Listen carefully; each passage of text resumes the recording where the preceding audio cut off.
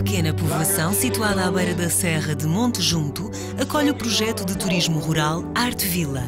Neste espaço, que resultou da recuperação de casas antigas, respira-se arte e serenidade num cenário campestre. Catarina Carvalho gera o Arte Vila e foi a arquiteta responsável pela recuperação destas moradas de casas. Metade das casas estava já na sua família e conta que os seus pais, proprietários do espaço, sempre quiseram investir no turismo.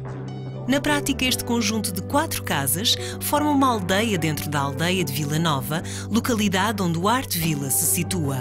Na Casa do Forno, estrutura principal do projeto e que resultou da recuperação de um conjunto de habitações, um alpendre convida a entrar na sala de refeições comum. Figuram aqui quatro quartos e uma suíte com terraço panorâmico com vista para a serra. Num dos quartos é possível ver as antigas paredes de pedra das casas recuperadas, assim como os típicos bancos namoradeiros. O pátio é, é, a grande novidade aqui em relação a todo o espaço, porque isto eram duas propriedades que nem sequer eram, não, não comunicavam uma com a outra, tinham um um muro a separá-las. No entanto, ao, ao, ter a ideia de criar este, este, este espaço, surgiu um bocadinho aqui aquele conceito de criar quase uma aldeia dentro da aldeia. E então criámos todo este pátio que ao mesmo tempo liga todas as casas e é criada a zona também comum exterior de todos os hóspedes, onde temos também um forno, uma churrasqueira e, e onde temos a, a, pequena piscina que, que serve para, para, os hóspedes poderem usufruir. Depois tem uma zona também panorâmica com, com vista para a serra e faz no fundo a ligação entre todo o espaço e criando um bocado esta, esta, esta ideia de ter um, uma pequena aldeia aqui dentro. A Casa da Padaria resultou da recuperação de três moradas que tiveram vários usos e que hoje dão vida a dois estúdios. Numa antiga adega foi criado um loft. Já o moinho de tipo americano que servia à população da aldeia foi transformado num apartamento de dois pisos e toda a sua estrutura antiga foi mantida.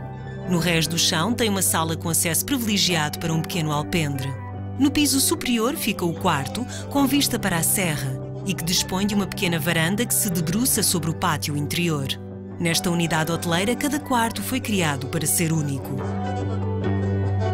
Aqui no fundo foi um bocadinho o aproveitamento, fazer um bocado uma, quase uma reciclagem de, algum, de algumas peças antigas, dar-lhe uma roupagem um bocadinho mais moderna e embora obviamente a decoração passa muito pela uma decoração rústica e um ambiente rústico, mas tem alguns traços de, de modernidade e temos, por exemplo, o caso da mobília de um dos quartos, em que era uma mobília muito pesada, muito antiga, que foi totalmente recuperada, foi dada uma patina muito mais leve.